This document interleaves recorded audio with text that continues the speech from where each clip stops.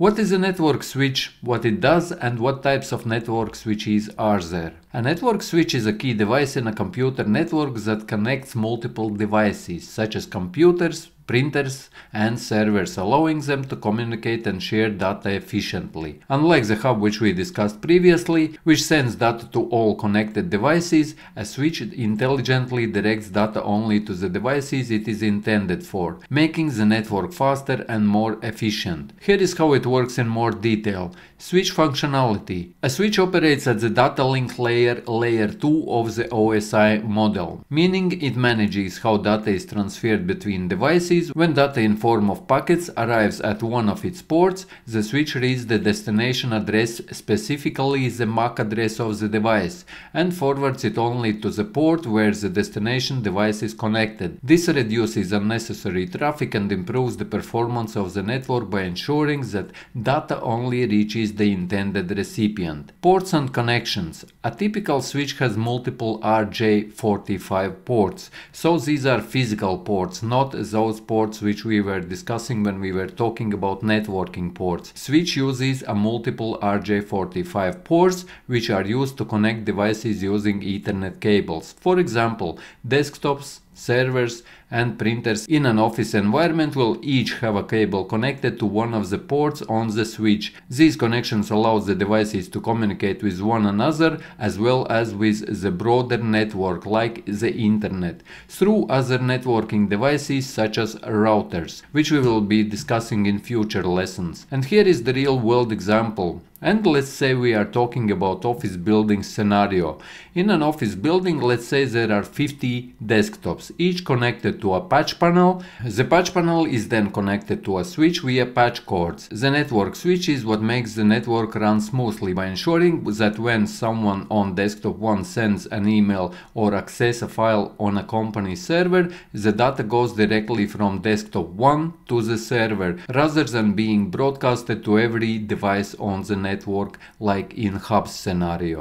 The switch keeps track of which devices is connected to which ports by learning the MAC addresses of all connected devices.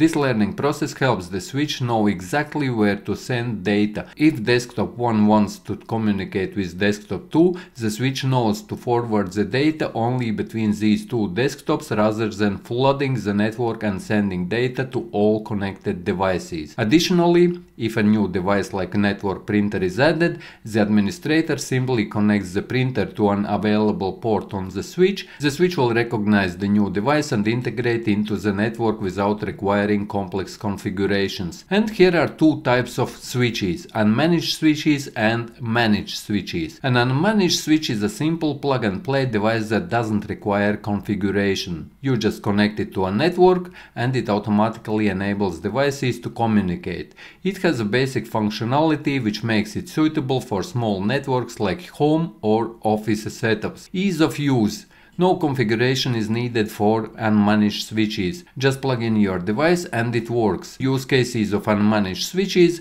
Unmanaged switches are typically used in smaller, less complex networks where there is no need for advanced control over network traffic or security. For example, a small office with a handful of devices would benefit from this. And limitations of unmanaged switches are that they have a limited control over network traffic, no monitoring features and no security configurations.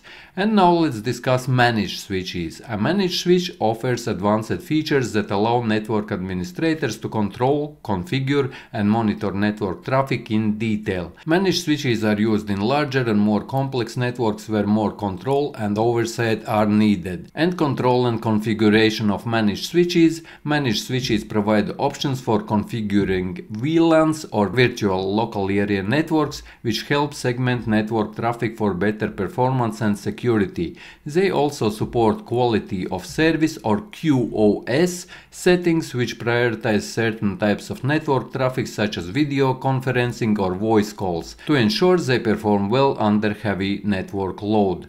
Monitoring and security. Managed switches allow for detailed monitoring of network traffic and can detect and prevent issues like traffic bottlenecks or security threats.